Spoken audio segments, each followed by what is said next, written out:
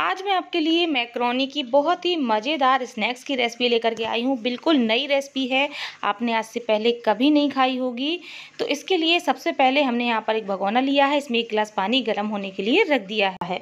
इसमें हम हल्का सा नमक डाल देंगे और एक चम्मच हम तेल डाल देंगे। तेल से जब हम मैक्रोनी बॉयल करते हैं ना तो वो तो बर्तन में नहीं चिपकती और आपस में भी चिपचिपी नहीं रहती है।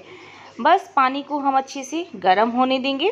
पानी में बबल्स जैसे आपको नज़र आ रहे होंगे। यहाँ पर मैंने ली है एक कप मैक्रोनी मैक्रोनी को हम पानी में डाल देते हैं और एक स्पून की हेल्प से एक बार अच्छे से मिक्स कर देंगे ताकि ये तले पर एकदम से चिपकी ना रह जाए। मिक्स करने के बाद इसको हम किसी लिड या प्लेट से कवर करेंगे और कम से कम तीन से चार मिनट के लिए इसको अच्छे से बॉईल होने देंगे। या हमें मैक्रोनी को जब तक उबलने देना है, जब तक कि ये अच्छे से पक नहीं जाती। फ्लेम को लो टू मीडियम ही रखिएगा, इससे मैक्रोनी कम टाइम में अच्छे से पक जाती है। तो मैक्रोनी को पकाते हुए मुझे लगभग तीन चार मिनट हो चुके हैं तो लिट को हम अलग करेंगे और मैक्रोनी को एक बार हम अच्छे से चेक कर लेते हैं। तो बस इतना ही चेक करना है कि अगर हम मैक्रोनी को मसलते हैं तो ये आसानी से मसल जाए। इसका मतलब है कि मैक्रोनी हमारी परफेक्टली पक चुकी है। तो हमें यहाँ पर ओवर कुक करने की ज़रूरत नहीं है, बस इतना ही हमें इसको पकाना है। तो चलिए गैस को हम बंद कर देते हैं। यहाँ पर मैंने एक बर्तन में स्टेनर रखी हुई है तो इस मैक्रोनी को हम स्टेनर में छान लेंगे, ताकि इसका जो एक्स्ट्रा पानी है वो सारा निकल जाए। और मैक्रोनी अपनी हीट से ओवर कुक ना हो, इसके लिए हम ऊपर से थोड़ा सा ठंडा पानी डाल देंगे। अब हम मैक्रोनी को साइड में रख देते हैं, और इसका जो पानी है इसको हम अलग फेंक देंगे। मैक्रोनी को हम ठंडा होने देंगे। जब तक मैक्रोनी ठंडी हो रही है, हम एक स्पेशल सॉस बना लेते हैं जिससे आज हम जो स्नैक्स बनाने वाले हैं, वो सुपर टेस्टी बनेगा। यहाँ पर मैंने तीन चम्मच दही ले लिया है और ये लिया है आधा कप मूंगफली। ये कच्ची मूंगफली ली है मैंने, आप यहाँ पर रोस्टेड मूंगफली का इस्तेमाल भी कर सकते दो हरी मिर्चें ले ली हैं और एक टुकड़ा हमने यहाँ पर अदरक का ले लिया है। तो इन्हें भी हम डाल देते हैं। यहाँ पर मैंने तीन काजू ले लिए हैं। काजू ऑप्शनल है, आपके पास नहीं है तो मत डालिएगा। इससे फ्लेवर बहुत ही बढ़िया आता है। ज़्यादा नहीं, बस तीन चार काजू डाल दें। आधा चम्मच हम इसमें कच्चे जीरे डालेंगे और स्वादानुसार हम इसमें नमक ऐड कर देंगे। अब हम इसको अच्छे से ग्राइंड कर लेते हैं। तो एक चीज़ याद रखिए, हमें इसमें बिल्कुल भी पानी नहीं मिलाना है। क्योंकि हमने इसमें दही ऐड किया है तो ये आसानी से ग्राइंड हो जाएगा, आपको दिक्कत नहीं होगी। तो लीजिए, हमने इसको अच्छे से ग्राइंड कर लिया है और हमारा मूंगफली का जो स्पेशल सॉस है बन करके रेडी हो गया है। ये बहुत ही फ्लेवरफुल लगता है। अगर आप इसको ऐसे ही खाएँगे ना तो आपको कसम से मज़ा आ जाएगा इसको खा करके। ये बहुत ही ज़्यादा टेस्टी है। फ़िलहाल हमें इसको ऐसे नहीं खाना है। हम अपने स्नैक्स में इसका इस्तेमाल करेंगे। तो मैक्रोनी जो है ठंडी हो चुकी है। इसको हम एक मिक्सिंग बोल में ट्रांसफ़र कर लेते हैं। अब इसमें हम डालेंगे बारीक कटा हुआ प्याज। बारीक कटा हुआ यहाँ पर हम शिमला मिर्च भी डाल देंगे। अगर आपके पास गाजर है, मटर है, ये सब चीज़ें अवेलेबल हैं तो आप इनका इस्तेमाल भी यहाँ पर कर सकते हैं। ये मैंने लिया है एक कच्चा आलू और कच्चे आलू को क्या करेंगे, हम ग्रेटर यानी कि कद्दूकस की मदद से कद्दूकस करके डालेंगे। इससे बहुत ही बढ़िया फ्लेवर आता है। हम जो स्नैक्स बनाने वाले हैं, बहुत ही क्रिस्पी लगता है और अंदर से भी सुपर टेस्टी लगेगा। तो हमने पूरे ही आलू को ग्रेट कर लिया है। अब हम इसमें बहुत ही चटपटा, मज़ेदार फ्लेवर के लिए इसमें मिला रहे हैं एक चम्मच सांभर मसाला। इससे बहुत ही मज़ेदार फ्लेवर आएगा फ्रेंड्स। अगर आपके पास सांभर मसाला नहीं है, तब आप यहाँ पर एक चम्मच पाव भाजी मसाला मिला दीजिए।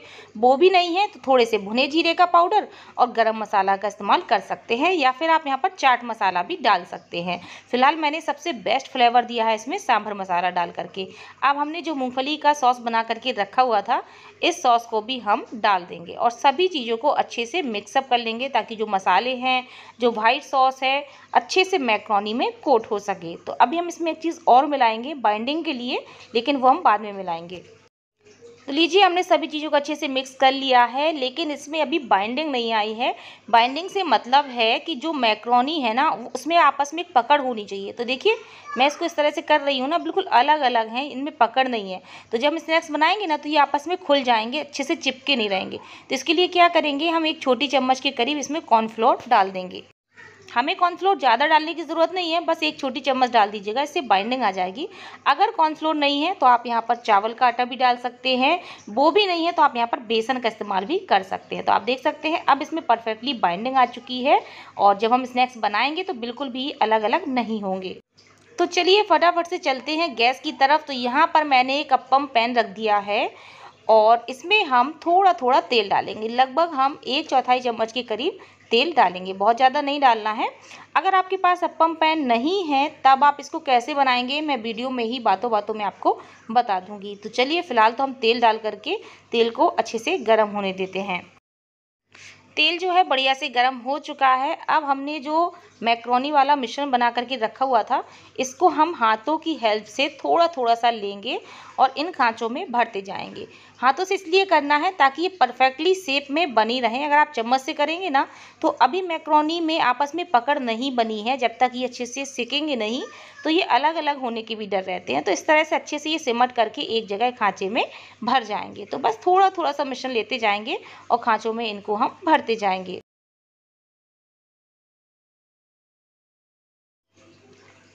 तो हमने इसको अच्छे से खाँचों में फिलअप कर दिया है और बस अब आप इसको ढक करके बिल्कुल लो टू मीडियम फ्लेम पर दो मिनट के लिए नीचे की तरफ़ बढ़िया से सेकने दें। फ्लेम को हाई बिल्कुल मत करना, इस चीज़ का ध्यान रखिएगा। हमें बिल्कुल लो टू मीडियम फ्लेम पर सेकना है ताकि ये बढ़िया से बाहर से क्रिस्पी हो जाए और अंदर तक बहुत अच्छे से पक जाए। दो मिनट हो चुके हैं और इनको हमने नीचे की तरफ़ बढ़िया से सेक लिया है। तो चलिए इसको हम पलट करके चेक भी कर लेते हैं। तो एक स्पून की हेल्प से इनको हम पलटेंगे। तो आप देख सकते हैं, कितना प्यारा नीचे की तरफ़ कलर आ चुका है और बहुत ही क्रिस्पी ये बाहर से हो गए हैं। तो सभी को हम पलट लेंगे और उलट पुलट करते हुए इनको हम दोनों साइड से बढ़िया करारा या क्रिस्पी होने तक तल लेंगे। अब बातों बातों में मैं आपको बता देती हूँ कि आपके पास अगर अपम पेन नहीं है तो आप इसको किस तरह से बना सकते हैं? तब आप क्या करें? हमने यहाँ पर एक चम्मच कॉर्नफ्लोर मिलाया था ना? तो आप जो भी इस्तेमाल कर रहे हैं, चावल का आटा या कॉर्नफ्लोर तो आप एक की जगह कम से कम दो से तीन चम्मच मिलाइएगा। फिर आप इनको पकौड़े की तरह कढ़ाई में तल सकते हैं। उससे क्या है? ये टूटेंगे नहीं। अभी हमने कॉर्नफ्लोर कम मिलाया है, जिसकी वजह से अगर हम अभी इनको कढ़ाई में तलेंगे ना तो ये बिखर जाएँगे। और अपम पैन में बिल्कुल भी नहीं बिखरे। देख सकते हैं, बहुत अच्छी बाइंडिंग आ गई है। और हमने इनको उलटते पलटते हुए दोनों तरफ़ से बढ़िया गोल्डन होने तक तल लिया है और देख सकते हैं कितनी क्रिस्पी हो गई हैं। खाने में बड़ा ही मज़ा आएगा इनको आपको, एकदम सुपर क्रिस्पी अंदर से बड़े ही सॉफ्ट सॉफ्ट पीनट का फ्लेवर मैंने बनाए थे, मुझको बहुत पसंद आए। तो चलिए अब हम इनको निकाल लेते हैं और इनकी प्लेटिंग कर लेते हैं। तो लीजिए, तैयार है हमारा मैक्रोनी का बहुत ही चटपटा, क्रिस्पी, मज़ेदार स्नैक्स।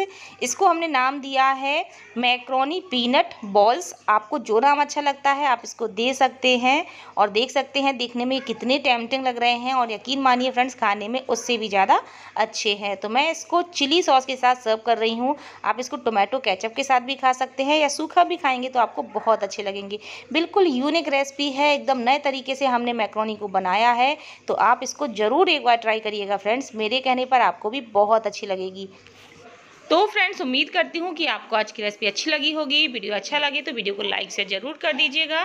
फिर मिलते हैं अगली रेसिपी में। तब तक के लिए बाय बाय टेक केयर